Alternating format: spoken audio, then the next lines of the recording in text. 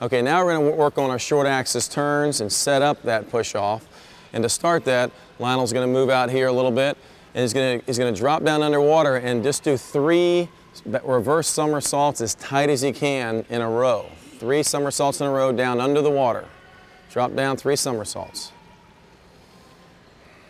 Quickly, quickly, quickly. That's what we're looking for.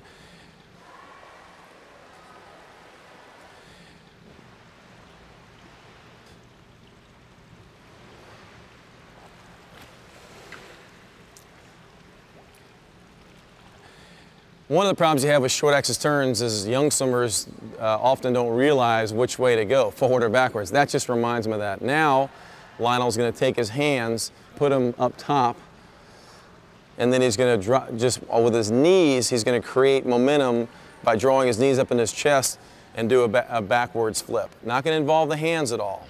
Okay, lay back, Lionel. Important that each time they do this, that they get their uh, head in a neutral position. So head down first, and go.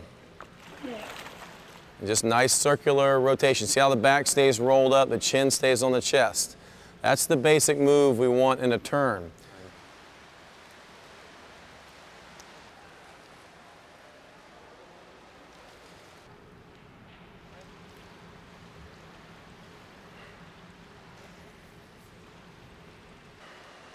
What we're looking for is for swimmers to, to do their turn in a hallway. Dave Bottom once came up with the idea of this when he was coaching our team, and he talked about staying in a narrow hallway, not turning one way or the other, but stay in a narrow hallway, and that's what we're looking for Lionel to do. One more time, Lionel.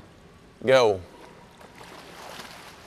All right? You see, even his feet stay close, uh, tied in together. Okay.